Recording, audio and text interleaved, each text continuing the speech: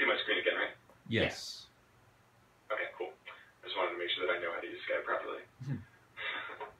um, okay, so you guys have, have, so this is basically where you're going to be managing all the devices in Intune.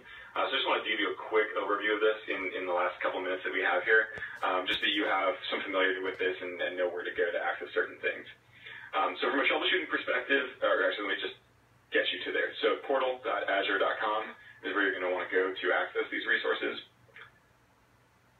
Is there an app for this as well? I don't think there is now. Okay. Um, this is actually relatively this, this portal for uh, managing Intune and Azure AD is relatively new within the past couple months. Um, so it, there's there's not a lot of stuff for this, and it's actually technically still in preview uh, for Management 3 here, Okay. even though it's where you have to do everything. Um, so if you do that, you'll sign in with your work or school account. I'm already signed in, so it took me directly to it. Um, if you don't have Intune showing up in the sidebar, all you have to do is click this arrow, search for Intune, and you'll get it right here. Okay. If you want this to stay in your sidebar, just click the uh, the star right here, and it'll favorite it and add it here. Alright. So once we're in Intune, it'll take us to our overview. Uh, where you'll spend a lot of time probably is in devices, and this is just going to be an overview of all the devices and groups that are enrolled in the Intune platform. Um, on the first page, it'll give you an overview of your OS distribution. For this pilot, we should only be looking at Windows, but if you were also using this for managing MDM, et cetera, you'd also see other device types in here. Uh, so I'm going to go to All Devices, and that'll pull us up uh, a new paint here. So we'll see the three devices that we have enrolled. So your device, Krista Test, you'll see it was enrolled with daniel.kingstudent.microsoft.com, um, and then the two testing devices that I have here. Um, you'll see that your device is shown as compliant because you got all of the policies and settings and everything pushed down. I missed a couple, so my device shows as non-compliant. Right now, that's not going to do anything, but when we turn on conditional access, um, anybody that is non-compliant won't be able to access like uh, Exchange Online, SharePoint Online, etc. Um, unless they are compliant. Uh, so if we pull up your device here, and we'll get a little bit more detail on that specific uh, device. So you'll see a serial number. Ownership is personal, and that's because we just did an add work or school account. It's not Azure AD joined. Um, associated user, device model, last check-in time, et cetera, et cetera. Uh, on a mobile device, we'd also have the phone number that was associated with that device. And then up here, you'll see remove company data. So this is where we'll do that selective wipe and remove device management and anything associated with the organization while leaving all of their personal data, anything locally on the device alone. Will that also uninstall And then if you class policy? I'm sorry, real quick. Will that also uninstall class policy?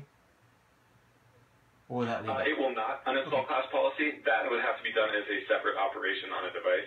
Um, Okay. So app installations at this point are, are independent of a device's enrollment status.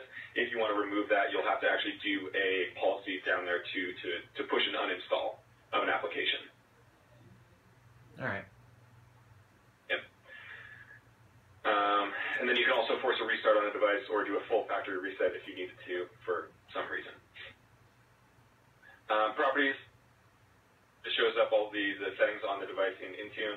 If you want to create device categories, you can do that and then assign them here. And then if you need to override the default uh, ownership setting, you can do that through here as well. Hardware gives you a summary of all of the of all of the uh, information we've gathered about the device, so you can get the Wi-Fi Mac for troubleshooting, um, AD registered, compliant, Exchange Active Sync, etc. All that shows up here. Um, when it was enrolled, last contact, and then just basic hardware information on the device. Uh, discovered apps, because we're in a personal mode here, we're not actually doing application discovery. If we were full Azure AD joined, we would be doing app discovery on the device and, and getting a full list of everything installed. Um, compliance, I don't think we have any compliance policy pushed down, but so device configuration, you'll see we have the pilot update ring pushed down, stated succeeded, and pilot succeeded. If we drill in deeper, we can get specific information about the settings that are applied and whether or not that was successfully applied on the device and is enforced.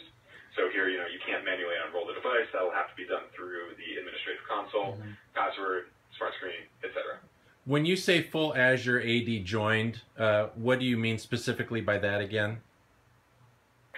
That means that the device, as opposed to being joined to Active Directory, the device would be joined and registered to Azure Active Directory, and so that would then be used as the primary form of authentication on the device.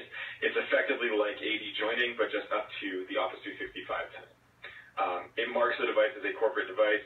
The accounts that users sign in with will be their Azure AD account, as opposed to signing in with whatever personal Microsoft account or local account on the device they want to do, and then accessing corporate resources from there.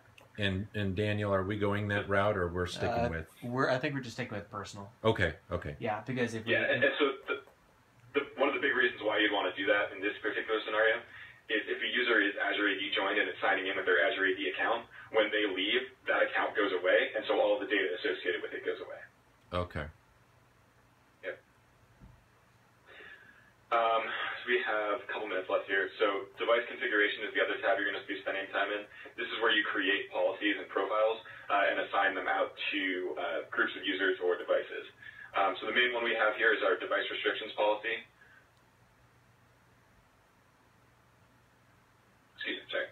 Uh, device restriction policies. So this is our base policy that we've configured. Um, you can see the platform is Windows 10 and later, last modified date, uh, a place to put description or notes. So every time a user makes a change, I, I suggest that they log it here. And then you'll go into settings where you'll actually configure all of those uh, the, the options on devices. Um, so you'll see various. Uh, there's a number of different sections here um, for configuring various types of Windows 10 policies. Uh, I'm just going to go into one of these in the interest of time. So you'll see password. It's uh, it's all sliders, so required, not configured, etc. And then you can go in and um, enter certain features in here as well. So like password expiration, you can enter the number of days in there. Uh, it's very straightforward to use this kind of this portal um, to set basic Windows 10 policies. okay. Do you have any questions on that? Um, not not on that. I do have some more questions that I'd like to ask before uh, before we're done with our um, our Skype call. Okay. Um, real quick, the other thing, so th- this will look the same for all types of policies, um, whether that's a um, configuration policy, compliance policy, um, conditional access, all this stuff looks the same in this portal, and the, the methods are basically the same, so I won't go in for each one. Uh, to assign a policy, you go into the assignments tab and set groups that you want to include. So we have this pushed down to every member of the Intune testing group. This will be the policy that they get. Um, you can set exclusions as well, so if you have certain members of Intune testing that shouldn't get this policy, you can put that in here, and you can create as many policies as you want and apply them to specific groups of users or devices. Alright. Alright. Um, so software updates, this is where the update rings are configured. Um, update rings, again, it's very straightforward. Everything looks the same. You can set specific settings in the policy and push it down to uh, specific groups. So those update settings are how we um, enforce the students to make sure they get their updates on time. Yes, correct. So if you look at your update settings on your on the testing device, you'll see that all of those settings are grayed out uh, because they've been uh, specified by uh, Intune. So there'll be there'll be a specific set of, of office hours effectively where the device won't reboot, and then we'll force a reboot and update installation outside of that. Try to just check for updates and see what it does. Yeah, it looks like I can. I don't see anything um, grayed out, but I don't have a whole lot of options showing. So I can check for That's updates. also possible. updates It may have it may have just hidden some of the options. yeah, I think that's what it is Um, because if I don't. I don't. Yeah, I don't have the usual options of like advanced or del- defer updates or anything like that. So, yeah, it looks like what it's doing is Again, just. it, it varies between um, um, versions of the exact UI. So like on Yeah, uh, this one, if I pull it up, Yeah. Okay. Yeah, I, I found advanced options, and I want to go in there. Um, most of the stuff, deferred updates and um, other stuff, that's all grayed out. So good. Yep. And then, okay. Um, so this stuff in here is pretty straightforward, and we can set up another call to go over some of this. I just wanted to make sure you had enough to start doing your pilot testing. Um, Intune roles gives you a bit so the ability to set up some RBAC. So if you wanted to give help desk uh, the ability to do specific uh, roles in here, like read uh, configurations on a device, maybe do a, um, a restart, something like that, you can give them very granular permissions to do certain tasks. Okay. So and are the these are permissions inside the Azure portal? inside the inside the admin portal here, yeah. So these are for admins.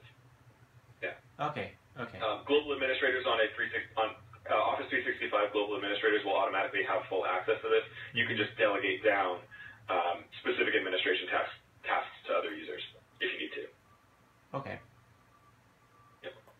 That might be All good right. for our student. So that's everything I want to show you today. Um, what questions do you guys have? Um, my first uh, question is uh, we're, we've been emailing back and forth about Windows Defender and um, antivirus. So it sounds like currently we can't push out any of our own antiviruses.